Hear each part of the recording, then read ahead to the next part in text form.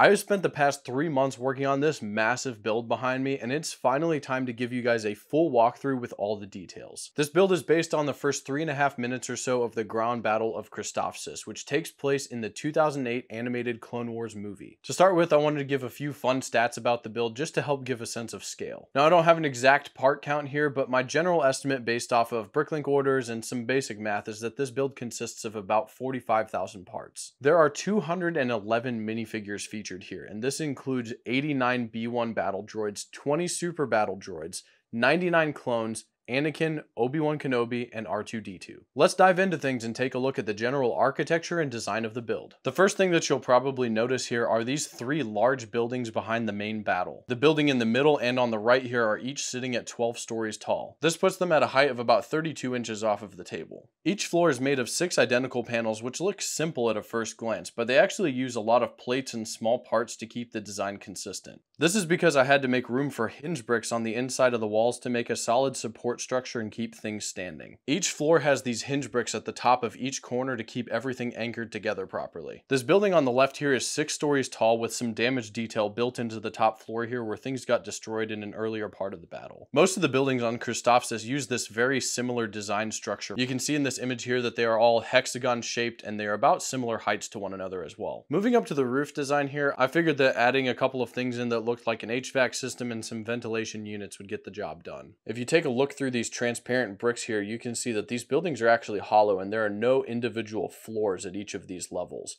Because of that, that means that there's no center support running through the building and the roofs had to be built quite thick so they could support their own weight. You can see that there are some spotlights mounted on top of the buildings here and we'll touch on that in a little bit when we get to talking about lighting. But the main thing I want to point out here is this gunship designed by M5 Builds. I love the design of this thing, it's minifigure scale, and I especially enjoy the brick built doors on the side of the gunship. I mounted this on top of the roof using transclear panel pieces and the majority of the weight is actually over the back wall of the building so it's supported quite well. It it definitely wasn't easy getting this thing mounted up here and I snapped the wing off the first time I tried, but I'm glad I got it to work. It adds quite a lot of height to the build overall and it ends up sitting about 4 feet off of the table, which makes this about 7 feet tall from the ground. The next thing I want to touch on here is all of these crystal structures that you see coming off the side of the building and across the ground. I was a little bit concerned initially picking this color for these crystals because if you look at this image on screen now, you can see that these crystals are meant to be somewhat see-through or transparent. Clearly, this Lego color is not see-through, it's not transparent,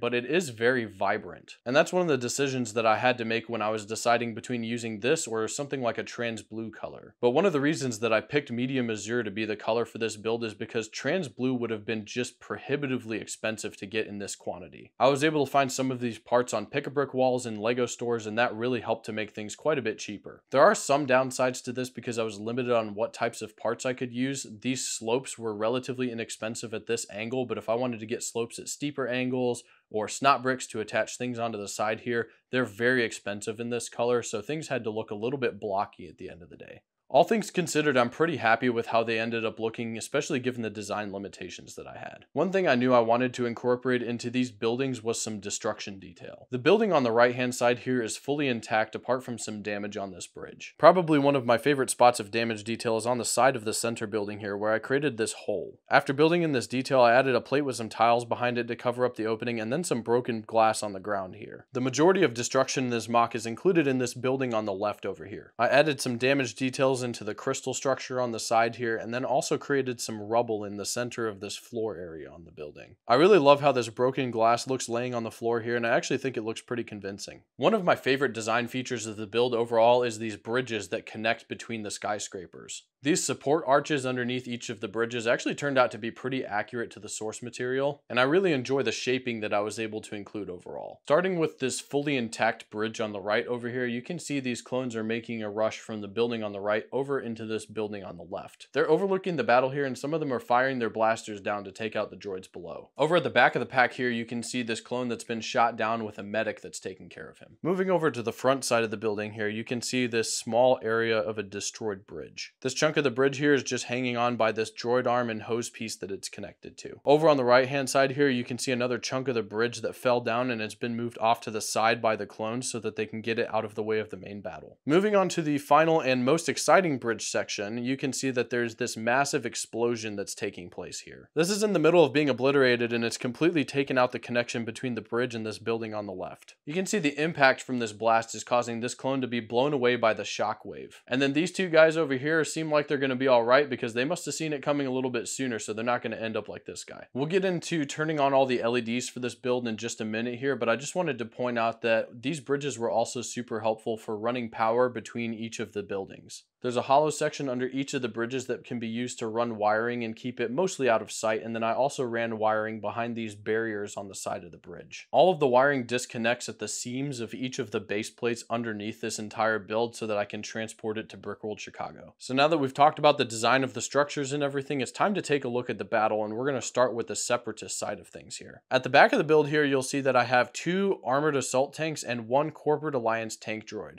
There are a ton of these in the actual battle, but because these are minifigure scale and I can't make this build a whole lot bigger, I was only able to fit three tanks into the build. These models are from Brick Vault. I love the way they look. They're minifigure scale, super detailed, and I'm definitely going to be hanging on to them for a long time. You can see represented by this small effect piece here that this tank in the back is the one that's blowing up the bridge. I've tried to include this type of logic for all the explosions in this build so they're not just coming out of nowhere. As far as the battle droids go on this side of the build, you can see that they're lined up in a pretty standard formation. I've been following along with Coconut Brick Studios Coruscant updates and I really love the craters that he's built into his battle. So I took a little bit of inspiration from that and built this small crater in here to kind of break up the monotony of all these droids being lined up in formation. Rather than making this explosion look like it was something that was in the process of happening, kind of like the bridge here, I decided that I would add in these trans orange cheese slopes to make it look like they were embers that were sitting in the bottom of the crater. So it looks like it was something that happened recently, but doesn't detract from the explosion that's supposed to take some focus behind it. One thing you may notice in general is that I have packed this build full of minifigures. There are a ton of them on this battlefield. And I know that this is something that large scale MOC builders tend to do with adding too many minifigures, but if you watch the clip of the Battle of Christophsis, you can see that this is pretty accurate. There are tons of droids in formation on the Separatist side of the battle, and there are a bunch of clones on the Republic side as well. It's just a very messy and chaotic battle. The next thing I want to focus on here is this Octuptarra droid, and this is based off of a design made by Phoenix Building Studios.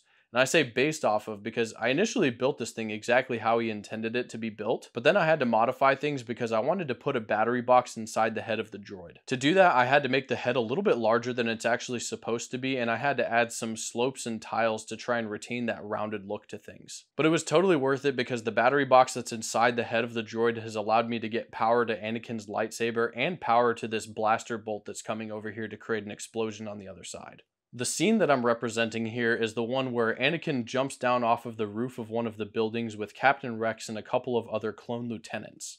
You'll notice that I'm using Phase 1 501st clones here from Clone Army Customs, which are technically inaccurate as I learned after I bought them, but I like the way they look so I decided to include them anyways. The scene from the movie has Captain Rex and his clones on the ground firing up at an Octuptarra droid, but I thought for the purposes of this build it was more visually interesting to have them firing on the droid as they came down off of the building. Moving on to the middle area of the battle here, this is where we have most of the action taking place. First and foremost, I had to of course include the legendary clone that punches a droid in the face. There's also a scene in the battle where Commander Cody comes and uses some melee combos on a couple of the droids, and one of them he kicks and they go flying, so I thought that was a fun detail to include here. We also have Obi-Wan Kenobi who is fighting a super battle droid.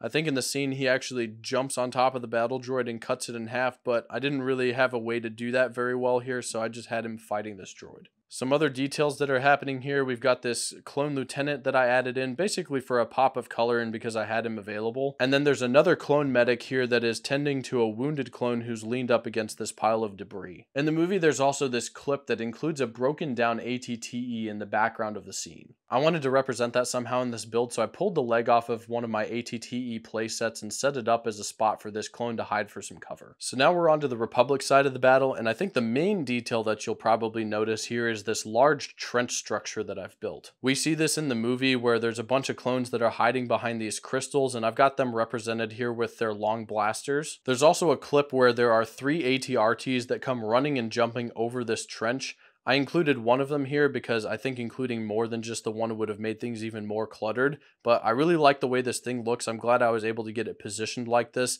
This is another Brick Vault model. It is minifigure scale, and I think it looks great. I also included a yellow clone commander here that is giving some instructions to these clones that are running through the trench He's holding onto some macro binoculars here. I think that's what they're called, even if they're not attached to their head. And then you've got all these guys rushing through the middle here to come and join the main battle. At the front of the trench area here, I built another large explosion, which is coming from the Octuptarra droid that's shooting in from the side here. And I've got another clone being blown out of the way here with his gun shooting off to the side. And a couple of crystal pieces here that are representing just general debris from the explosion. Toward the backside of the battle here, you'll see that I've got a couple other clone commanders that are doing some strategizing. And then there's another scene where this clone commander pets R2-D2, so I got him represented right here as well. Of course, the main feature of this backside of the build here are these two large AV7 cannons. Again, these are from Brick Vault, they're minifigure scale, they're super detailed, and I love the way they look. In the actual scene, there are four of these cannons included. I've only got two of them here because this